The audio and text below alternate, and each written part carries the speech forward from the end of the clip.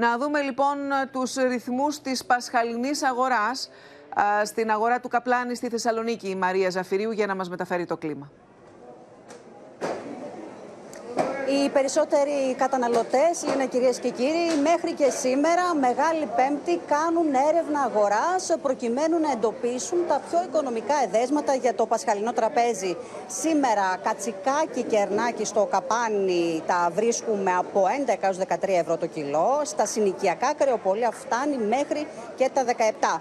Δεν είναι λίγοι όσοι προσανατολίζονται σε άλλα είδη κρεάτων όπως το χοιρινό που είναι πιο οικονομικό. Οι ποσότητες είναι κατά πολύ μειωμένες πιο ακριβές σε σχέση με πέρσι είναι επίσης σαλάτες και αυγά. Καταναλωτές με τους οποίους μιλήσαμε μας είπαν ότι τελικά θα κάνουν τις αγορές τους το Μεγάλο Σάββατο, αναμένοντας φυσικά κάποια μείωση στις τιμές. Μάλιστα. Σας ευχαριστώ και τις δύο πολύ.